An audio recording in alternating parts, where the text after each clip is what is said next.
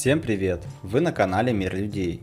Российский актер театра и кино Петр Баранчеев – брутальный мужчина с пронзительным взглядом. Звезде удается максимально точно передавать эмоции и характер всех своих героев. Петр Баранчеев родился 9 июня 1974 года в Московской области. Его родители не имели совершенно никакого отношения к актерской профессии. Мать трудилась в больнице, да и отец был далек от театрального мира. В семье даже никто не мог и подумать, что Петр в будущем станет артистом. Сам парень также не мечтал о том, что в его биографии появится сцена и кино. После школы Баранчеев поехал в Калужскую область, где в городке Таруса поступил в художественное училище на скульптора.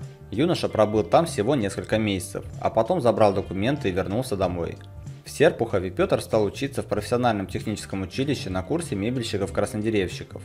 Работу по специальности найти юноше не удалось, и Баранчеев подрабатывал там, где придется. В конце концов, творческая жилка дала о себе знать.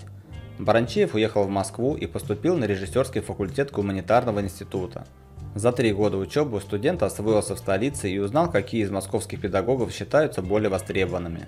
Поэтому, когда знаменитый Олег Ефремов объявил дополнительный набор абитуриентов мужского пола в мастерскую в школе студии МХАТ, Петр Баранчеев не раздумывал ни секунды – это решение определило дальнейшую творческую биографию артиста.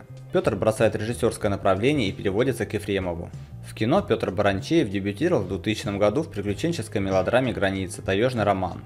Там Петру досталась роль офицера, которая моментально сформировала основное амплуа актера – брутальный мужчина в погонах. Во всех самых известных картинах актер играет или следователя, или военного, или охранника. На счету начинающего артиста стали появляться рейтинговые телефильмы начала 2000-х. Мур есть Мур, Марш Турецкого, Next 3, Аэропорт 2. После получения долгожданного диплома о высшем образовании, начинающий артист был принят в труппу театра имени Чехова.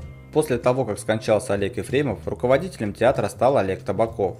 Однако у Баранчеева не сложились с ним отношения, поэтому уже вскоре он покинул сцену этого театра.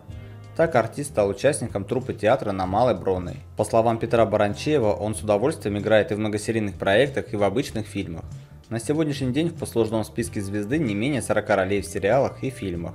Петр Баранчеев, несмотря на свою актерскую деятельность, совершенно не любит публичности, а также старается оградить себя, свою жену и детей от повышенного внимания публики.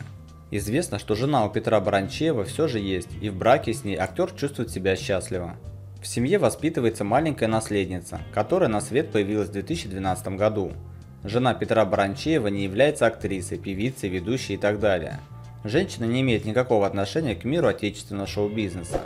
Другие сведения о своей семье артист давать категорически отказывается. Он считает, что подробности личной жизни должны касаться исключительно его самого. Если вам понравилось наше видео, обязательно поставьте лайк и подпишитесь на наш канал. Также не забудьте нажать на колокольчик, чтобы первыми получать уведомления о новых видео на нашем канале. Всем пока-пока.